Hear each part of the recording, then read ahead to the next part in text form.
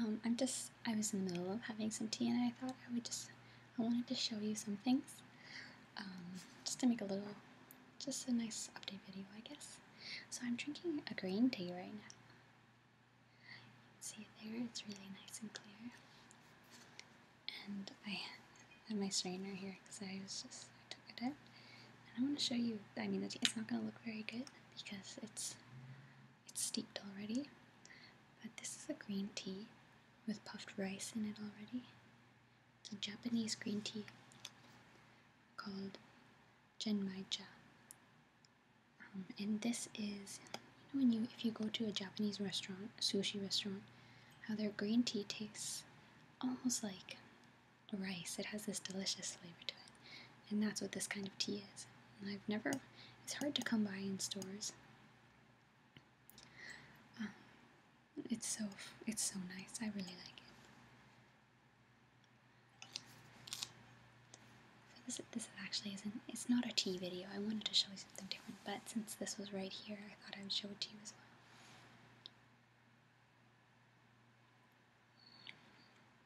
This mug is so amazing. I love it. So I got a little surprise card yesterday for no reason. I don't know, it was really neat. I'm gonna show it to. I opened it already.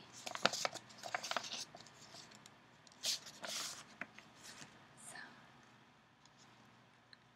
I may believe Mr. Dressup, but I love Mr. Dressup. Canadian kids had three choices of TV shows in the 60s.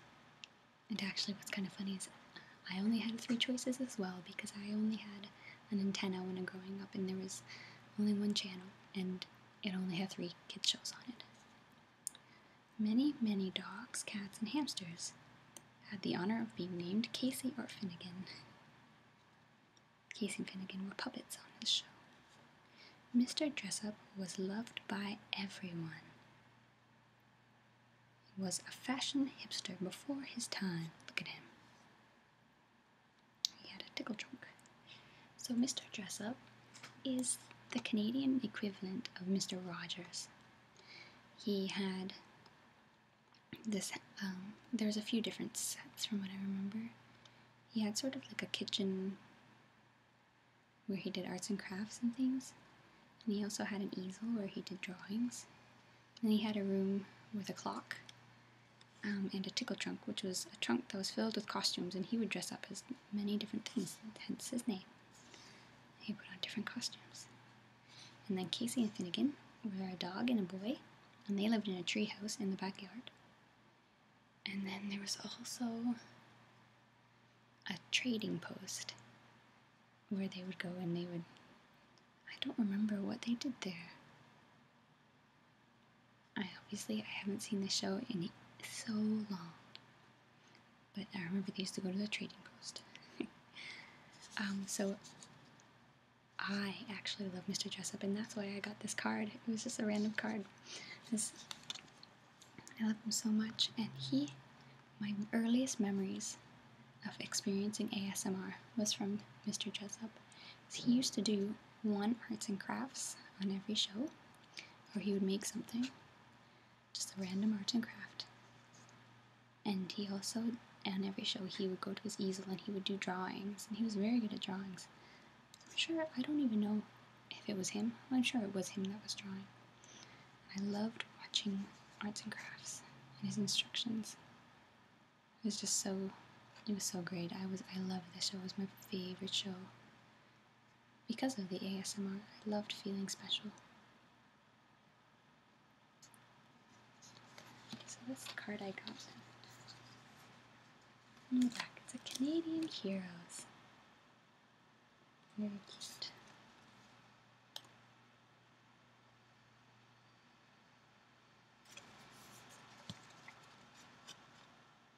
On the inside it says, This card is for no reason other than that you are awesome. And that's so nice. so nice to have a cool card like this. Where someone sees it, something, and they think of you and then decide to get it. Makes me feel special.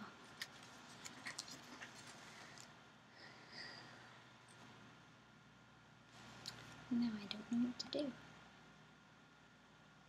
I can show you. I'm going to show you something else cool that I got recently. I actually made these, I had them made. They are my new business cards. Got them from a website that does a whole bunch of multiple. You can get as many images as you want on your cards. It's uh, moo, moo.com. They're so cool. They're so nice too. So this is one of them. It's a drawing I did a while ago. Stars. On the back it says my name and flute slash piccolo performer, private instructor, and it has all my information. I know this isn't really musical related, but I just thought it looked really neat. And it kind of expresses, it's my own expression of art. This is another design I have.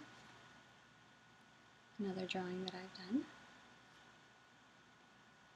Just very silly. I, I like this one. I think it turned out the best as a card. The colors are amazing. I want to go in this forest.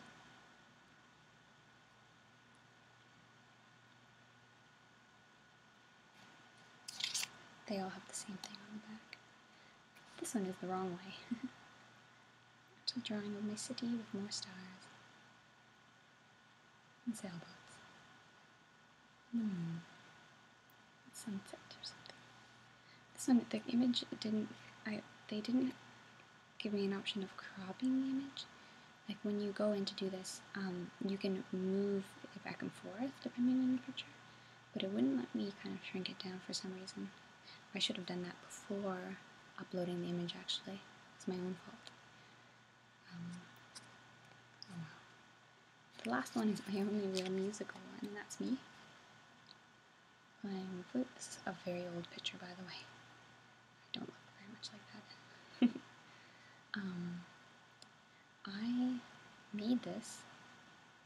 I drew and cut out all of these taped them to my wall my old apartment.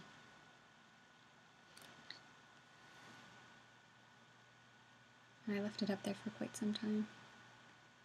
My favorite was I really loved that bird and colorful fish.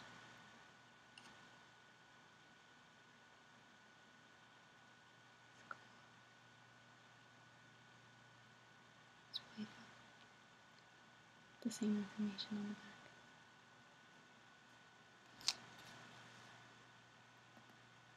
This one, I, I like the way it turned out, but the, it's very dark, and the coloring is a little bit weird, um, the way it turned out, but otherwise I think it's really, really neat, and I would give this out. What do you think? It's like a business card what? So I haven't actually given out any of my business cards yet. Um, but it's good to have them. And I have a, a box um, of 50 of these. I just pulled these ones out, one of each. And so there's like quite a few of each design. So that'll last me quite a while, I'm really excited about them.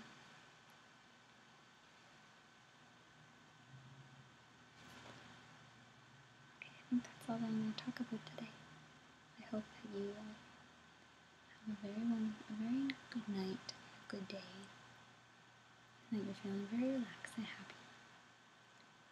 Even though we're approaching sort of the second half decline of summer, soon it will be fall, which in my opinion is the best season in Canada or I guess wherever. I love the fall and I can't wait Bye.